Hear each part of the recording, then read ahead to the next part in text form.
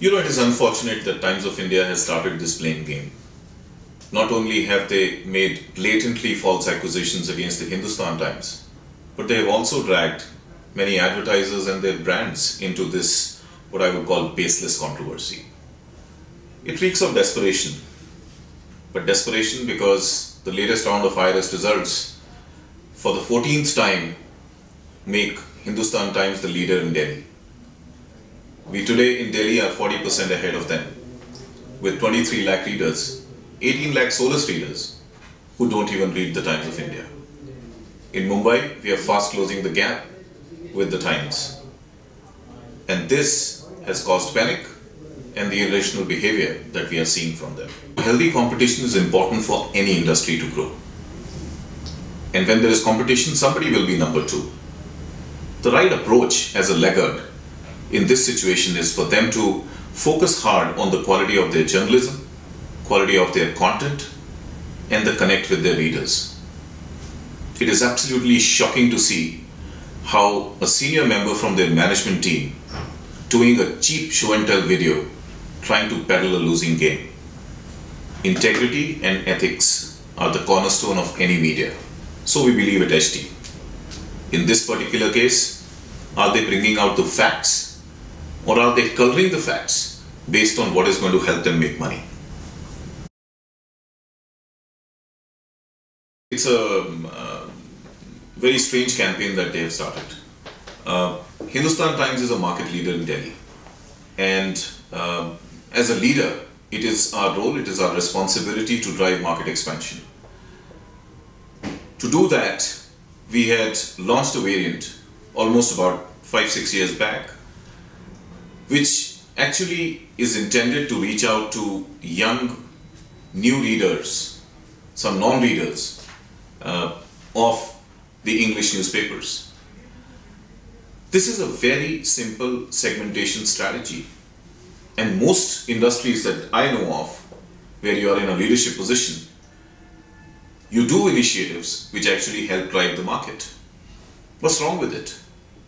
Now, as far as you know, um, uh, the advertisers are concerned, if you look at our rate card, in our rate card, it is very clearly illustrated that HT 1.5 rupee product in Delhi NCR is available at a, a, a, charge over and above the regular rate card. So there is there is nothing that is being hidden here from the advertiser. Clearly, this whole piece by TOI is with a malicious intent and completely baseless. While doing all this, they very conveniently forgot that they have an equivalent strategy of student NIE editions, almost about 4.8 lakh copies across the country. Now that's a large number that goes out, which does not carry any advertising from the TOI main book or the supplements. If you look at NBT, uh, which is the Hindi newspaper, and obviously the bundled copies go with them, uh, they have almost 5.7 uh, lakh uh, copies of NBT going out, actually 5.8 lakh copies, which once a week, actually, look at this, carry the Times of India English Masthead. Is this not an effort to drive readership? But despite that, the readership numbers are what they are, and Hindustan Times is way ahead of the Times of India in Delhi.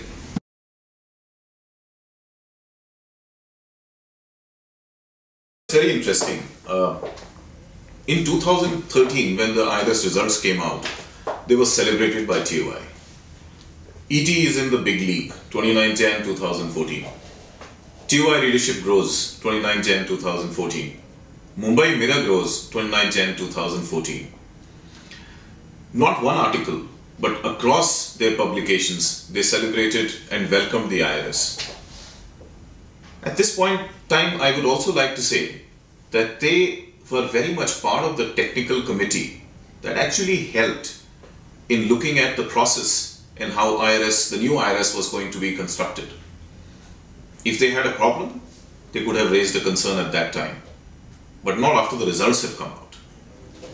In fact, when the results came out in Mumbai, the whole celebration and welcoming of IRS happened. But the moment they realized that the results in Delhi were not in line with what they thought it would be, that's when they started rubbishing the IRS. Now, this two faced stand seems very ridiculous. Either you support it or you don't support it. Interestingly, during the time the initial IRS results came out in Mumbai, uh, Rahul Kansal at that time had affirmed that the new technology or the new sorry the new methodology is certainly much more robust. It has made the whole process far more tamper-proof and secured it against the vagaries of poor fieldwork. It has been executed very professionally. And subsequently, when they got the Delhi results, they completely changed their stance. At HT, we value integrity and consistently base our communication on an industry accepted benchmark, which is the IRS. We haven't changed our stance whether the IRS has been in our favor or hasn't been in our favor. Because simply put, IRS enables you to get a fix on the number of readers you have out there in the marketplace and that is what an advertiser is buying. Advertiser is not buying the real estate in the paper. Advertiser is buying the number of readers you are offering to the advertiser. They are interested in drilling holes in the wall. They are not interested in buying drilling machines. First of all, let me uh, correct this. Uh, they use ABC in Delhi and they use RNI in Mumbai. Now, why do they use RNI in Mumbai? In Mumbai, they have a product called Mumbai Mirror, and almost 6 lakh copies of Mumbai Mirror go bundled along with TOI almost forcibly into consumer homes, whether they want it or they don't want it. And these copies are likely to be disqualified by ABC. Hence, it's very convenient for them to use RNI in Mumbai and ABC in Delhi. Let's talk a little more about Mumbai Mirror. In Mumbai, if you're buying TOI, you have to buy TOI along with either of the following products uh, at home. So you have to get either a Maharashtra Times or an Economic Times or a Mumbai Mirror. If you are not a Marathi reader, if you are not a business reader, you're going to get Mumbai Mirror. Whether you want to read it, whether you don't want to read it. And actually, if you look at the circulated copies of almost 6 lakhs and the readership of Mumbai Mirror, which is only 1.9 lakhs or so, uh, I think the, the piece is very clear that while you are pushing these copies into consumer homes, people are not reading it. So frankly, from our perspective, it's not even a regular product. It's a supplement that goes with the Times of India. In our view, the only way forward is for Times of India to grow up and behave like a mature brand. They need to focus on building a strong consumer and advertiser connect it is not going to help them by always being malicious and feel threatened by Hindustan Times. There's a lot more we can share at this stage. But we think in the larger interest of the industry, this whole crap has to stop. Frankly, they can crib, they can cry, they can even bully but that is not going to change the facts.